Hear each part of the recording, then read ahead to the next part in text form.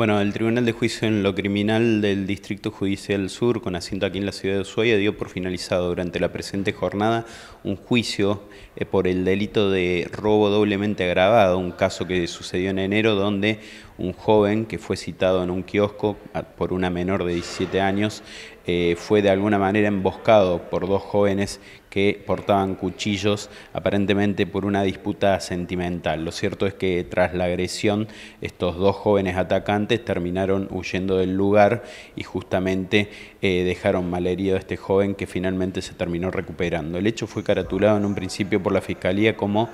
eh, robo doblemente agravado por el uso de armas y en definitiva terminaron de alguna manera condenando a los jueces a los imputados durante la presente jornada. Duras condenas podría decirse más allá de lo que había pedido el fiscal eh, Fernando Ballester Vidado en su alegato que había solicitado dos años de prisión, pero para los jueces esto era una pena bastante leve, con lo cual el presidente del Tribunal Oral, Maximiliano García Arpón, terminó dando lectura este mediodía al veredicto en el que impuso siete años de prisión al joven eh,